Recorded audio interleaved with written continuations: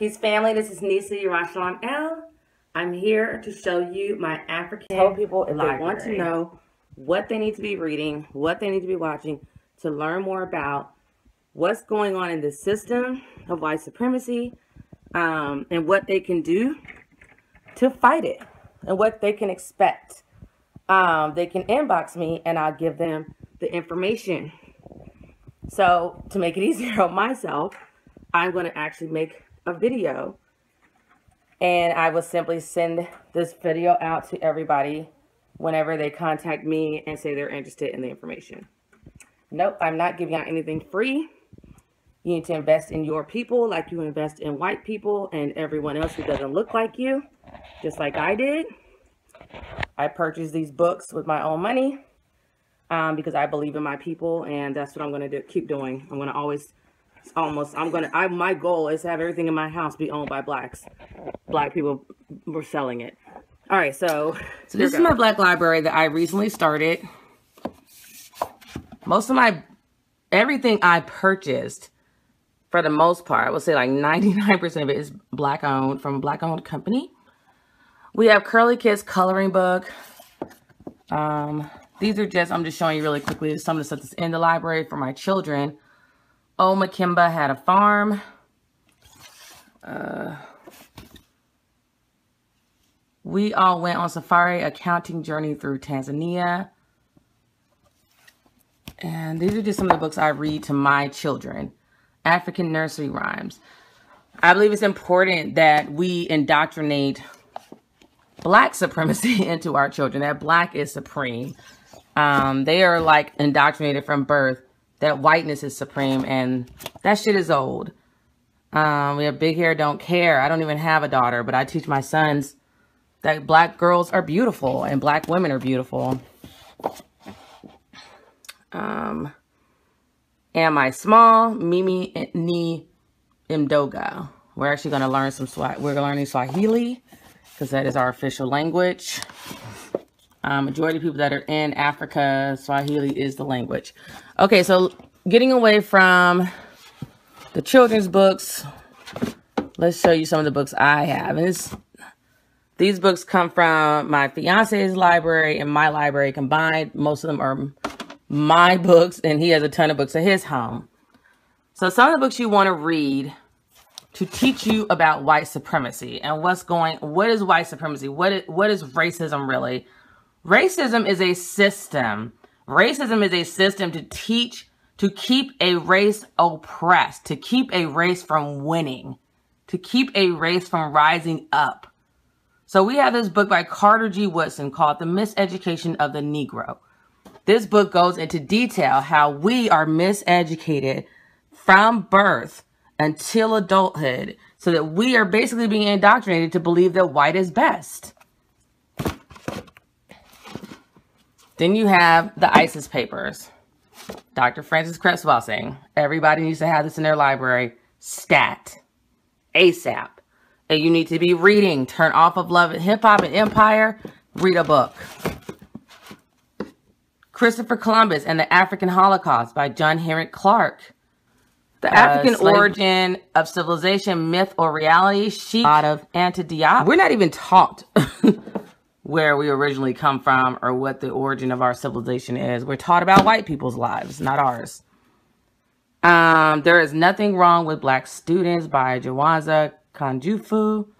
Uh, this is something I bought for my sons because there's obviously an attack on black boys as they try to send them off to prison. Um, this is another book I read for my children. It's called Psychoacademic Holocaust, a special education ADHD wars against black boys by Dr. Umar Johnson. It's a doctor of clinical psychology and certified school psychologist. If you don't this know, man has helped to save my life with my children. They had they were they have been attacking my children since birth, of course, since they joined the the white racist school system. They tried to put my Avery, who is 10 years old, they had him, no, they didn't try. They put him in special ed and didn't tell us it was special. They called it IEP. I didn't realize it was special ed until I talked, until I started studying his videos and studying under Dr. Umar Johnson. And then I told that school, get my son out of special ed now. They claimed they were putting him in IEP um, to help him with his speech at first. He needed like speech therapy or whatever. And then they were like, oh, well, he needs some help with his reading. Then they also tried to get my son to repeat kindergarten. What child repeats kindergarten? We were absolutely against it and we said, not no, we said hell no. Like I hated that teacher and it was everything in me not to try to not to kill her. Um, and so now my 10 year old has just gotten a, feedback. We just had a parent teacher conference with this teacher. She said he's an extremely excellent writer. He reads extremely well. Um, the only thing is he's a little bit shy, but he's brilliant. She's like, once you get him talking, he is brilliant. And guess who already knew this one? Guess who has two thumbs and already knew that? This mom. So that's why you need to be studying people like this because they are for you. They're not working against you. So you need to study people like this who are there to help your children, help your family. This man is, he's everything. Say my child's like, my son would still be in special education right now if I wasn't studying. If Dr. I wasn't studying Dr. Martin years ago after Trayvon Martin, I found him and I just started following him and watching his videos every single day. I was like obsessed. I turned off, you know, the silliness on TV, Love and Hip Hop, whatever I was watching. I really wasn't watching that stuff like that anyway, but I turned that crap off and I started listening to his videos and I learned so much from my sons. So if you're having problems with the school system, I know you probably are, trying to hold your child back or whatever, then you need to you need to follow Dr. Umar Johnson on YouTube. Um, add him to your Facebook, like his page when he comes to speak, come see him, go see him. He's just an amazing, influential, extremely brilliant. He's so intelligent, it's disgusting. And yes, he's black. Black people can be intelligent. There you go. I saw him in Baltimore. I want to say I've seen him twice in Baltimore. He's amazing. I can't even say enough good things. Um, then we have, and he's also building a black school, which I'll tell you more about later. Um, then we have 100 amazing facts about the Negro with complete proof because we always have to have proof, right? You can't just believe it like we do when white people say something. We need a million things to prove what we say. So there you go. So if you want to know, you want to really know the truth, don't take my word for it. Read a book. Then you have Black Root Science, which to me is like my black Bible. Um, I say this because this book breaks down the very beginning of our existence.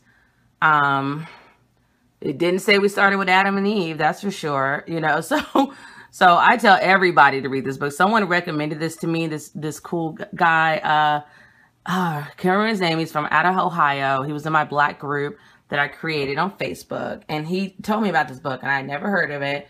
And I got it, and I literally cannot put it down. It's like the Bible; it is hard to read all the way through. So it's like years later, I'm still trying to finish it, but I'm determined to finish this book. So get this book in your library. Um, it's the author's Mo, Modimoncho. I believe it was written. I can't remember who it was written by, but it was told by like a griot. Like there's a African griot answering these questions, and African griots are basically um, people in African tribes who are taught to memorize facts and information, and so we used to not write things down a long time ago and then once we stopped that that tribal practice of um, passing down that skill to our children because the white people came and uh, enslaved us and broke us from our families and our tribes, then we had to start writing things in books. That's why it's so important to pick up a book and read a book because a lot of our s- secrets are in the books. So white people have their own books on white supremacy and how to be you know, what codes they have to follow. You'll find that out ahead in Hidden Colors 4. So they have their own books. So you're crazy if you're not reading your books. And and probably their books too. Read, study them like they study us. Then I also purchased Black Root Science, a beginner's guide to tracing the African American family tree. Um, because I'm just obsessed with knowing where we came from. Um, this is by Tony Tony Burroughs. I'm obsessed on where we came from. I want to know my truth. I never learned it in, in school. They're not going to teach a black child shit about where we came from. So take it upon yourself to teach yourself and okay. teach your children. Don't wait for white people to teach you. You're your there truth. to teach your child about your truth. Um, Christianity Before Christ by John G. Jackson, because I wanted to understand Christianity more, which I learned quite a bit about it. And I am now considering myself, my whole family, my children included, are now Hebrew Israelites.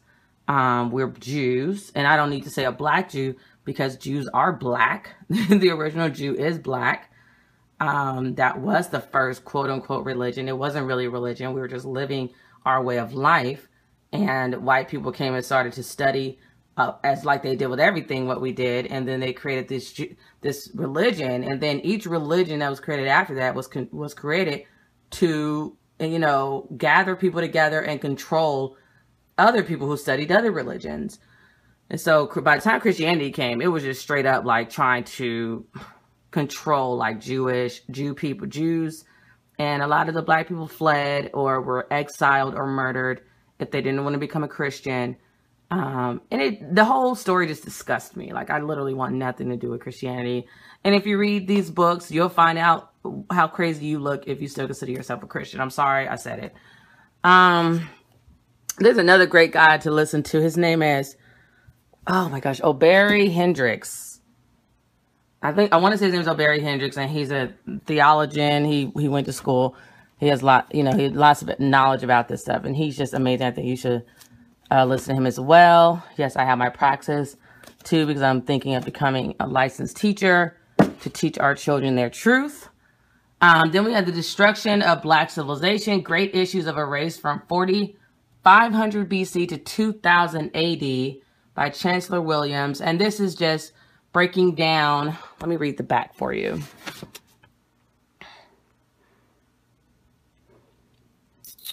This is really just breaking down the, the civilization of the black, the black uh, race. Uh, let's see.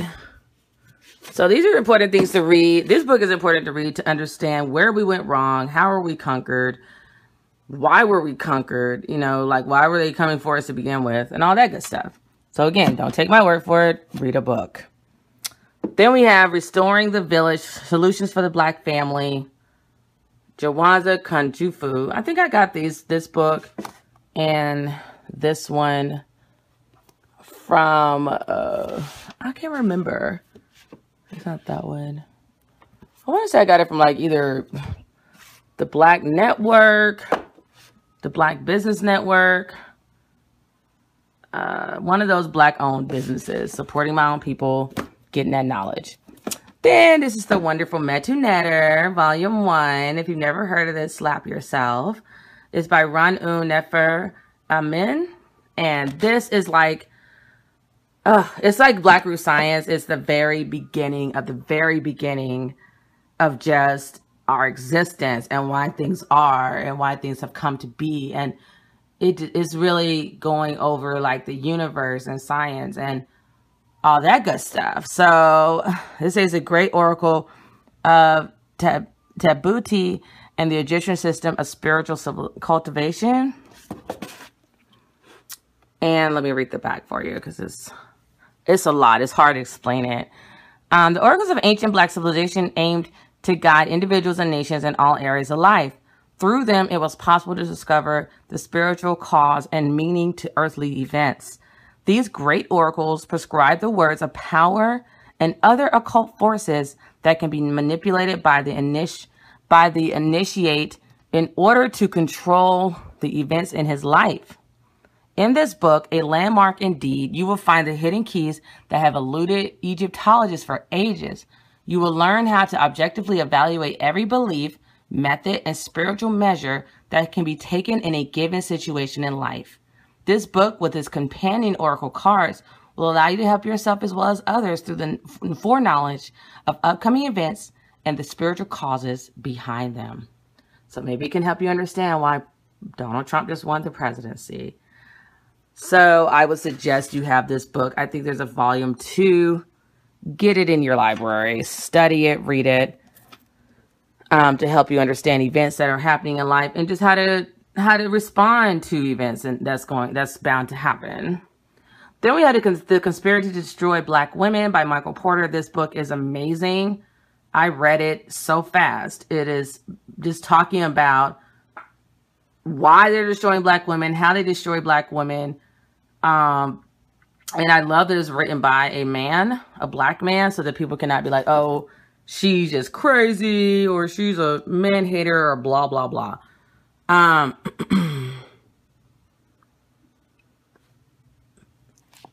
so it says here, oh, Jawanza Kunjufu actually published this book, who's who's the uh, author of the two other books I showed you earlier.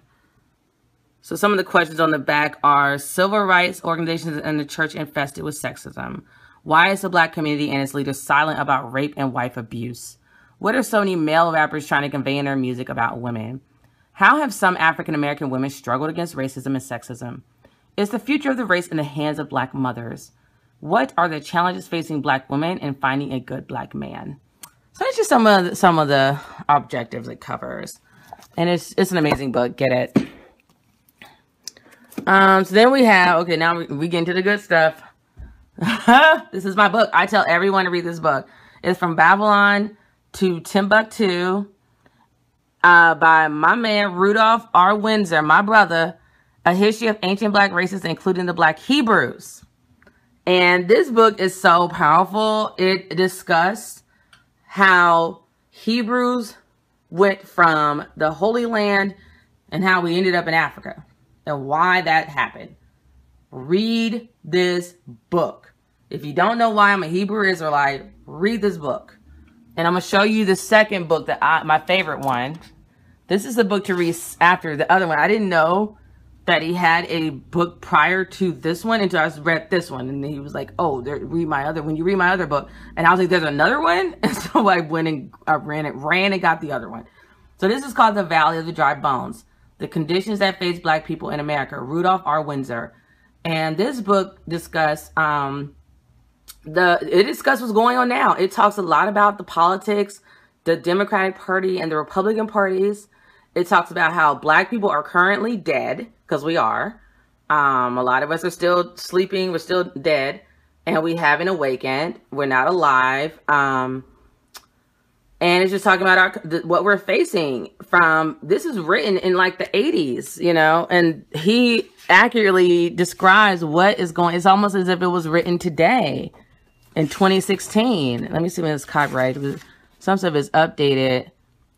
So the first edition was 1986. It was reprinted in 1988. And then 16th printing was 2006. So you got to get this book, guys. Like, come on. Like, if you're running around, you don't understand why Donald Trump just won being president. If you don't understand why some black people were like, I'm not voting like myself. I didn't vote. It's like for what? You if you read these books that are right there at your fingertips in Amazon or wherever, you know, try to find a black owned book. So I'm trying to get these books in my store eventually.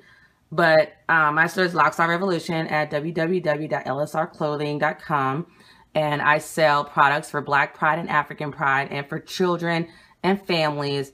And anything that our people are going to need, I'm getting it in my store or already have it in my store. So I do plan on carrying books like this eventually if I can get them in there. Um, I wanted to be a one-stop shop for everything black people need. So this book is just, these two books are powerful. Like this one goes into the very beginning of our existence, of African American existence.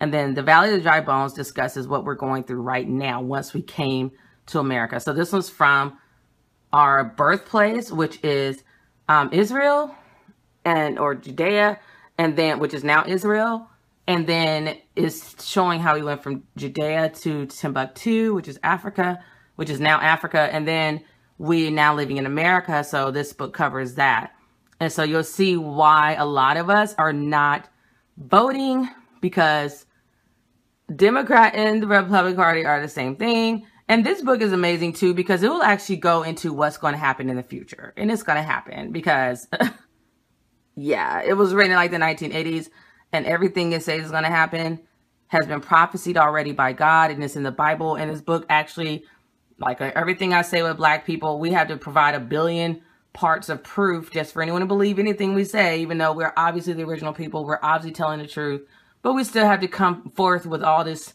all these facts that no one else has to provide to come up with their crap that they're saying or putting in our children's books um, in school. So this book has scriptures from the Bible to back up and support what he's saying. Because even though the Bible is not all true. Majority of it is. They're not that intelligent to write a, write that whole Bible. So a lot of it's truth and a lot of it's not.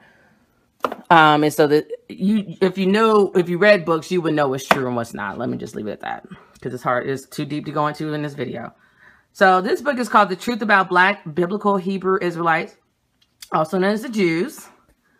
Um, the world's best kept secret. What happened to the true black Jews in the year 70 CE um, AD. And this is by Ella J. Hughley.